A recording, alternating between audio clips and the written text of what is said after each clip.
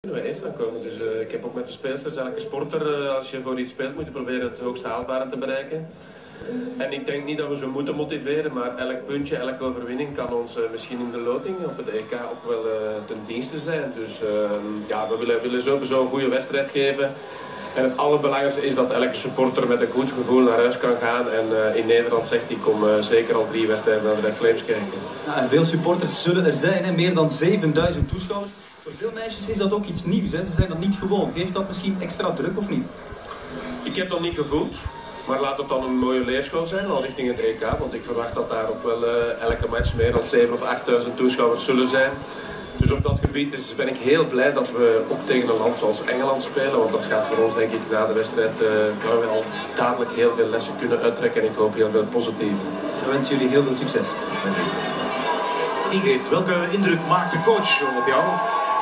Ik denk dat, uh, dat vooral een indruk is dat hij uh, ja, uh, de speelsters uh, de kans geeft om hier vandaag een, promotiewedstrijd van te maken. Hij probeert de druk weg te houden van de speelsters, wat ik denk dat ook wel goed is. Die is niet meer eigenlijk. Maar langs de andere kant verliest hij ook wel niet uit het oog dat, dat de wedstrijd nog belangrijk kan zijn. Belangrijkste is natuurlijk als gebeurt met die kwalificatie. En de speelsters hebben daar best wat druk bij ervaren. Het moest nu eenmaal eens gebeuren en het is gebeurd. Zou het vandaag kunnen meespelen, een soort decompressie van dit hoeft niet meer zo nodig? Ja, ik weet het niet. Ik denk dat het een beetje afhangt van uh, de speelster per speelster. Er zijn speelsters die zelf veel druk opleggen en die misschien voor een uh, groot publiek wel uh, nerveus gaan zijn. Er gaan er anderen zijn die zeggen, ja, gelijk ik daarnet zei, we gaan onze, onze sport promoten, we gaan er plezier van maken dat wij ons gekwalificeerd hebben. Ik denk dat dat echt wel een beetje van speelster tot speelster afhangt. Maar ik zelf, ik zou gewoon genieten, proberen, gelijk ik zei, die sport te promoten en het publiek dat vandaag veel is opgekomen een leuke wedstrijd te besloten. Want Engeland, dat blijft wel de nummer 5 in de wereld, dat blijft een grootmacht uh, waarmee ze worden geconfronteerd. Graag zijn er nog van onder de indruk. Ja, de laatste jaren zijn er heel veel stappen gezet geweest in, in het vrouwenvoetbal, mede dankzij de Benelink. Er zijn toch wel heel wat speelsters die naar het buitenland zijn vertrokken,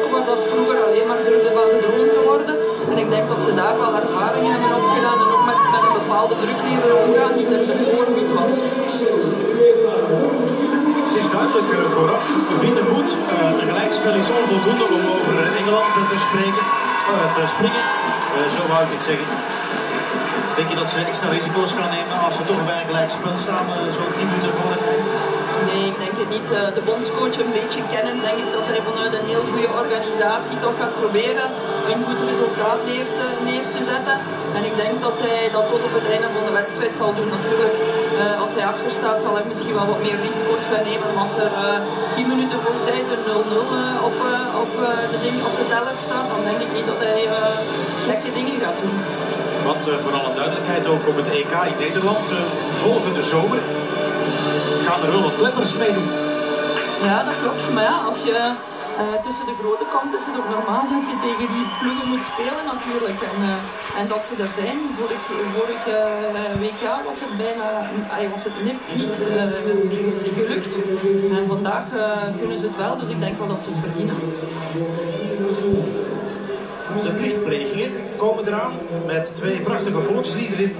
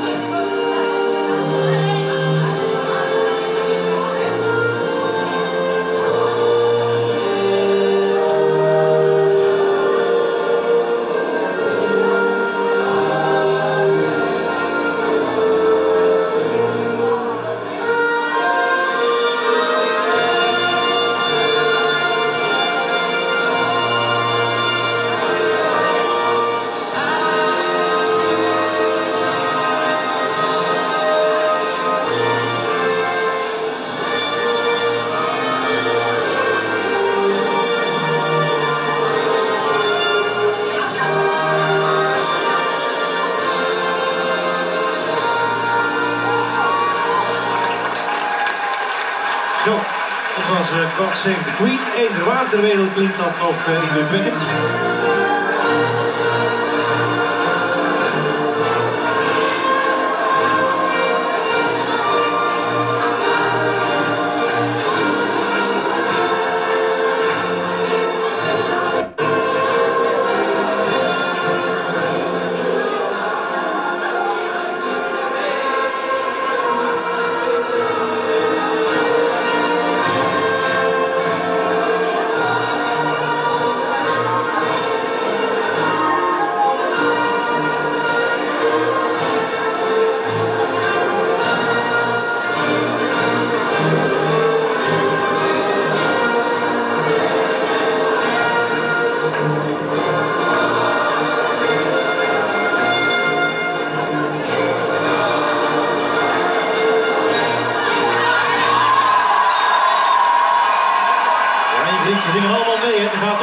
Kracht vanuit.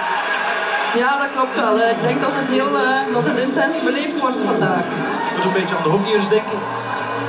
Ja, het daar misschien het vrouwenvoetbal ook wel mee vergelijken natuurlijk. Het probeert zijn weg te zoeken uh, in de echte voetbalwereld, laten we het zo noemen. En vandaag schrijven ze echt wel die pagina in de historie. En ja, dat moeten voor de speelsters die daar vandaag bij zijn gewoon puur genieten zijn.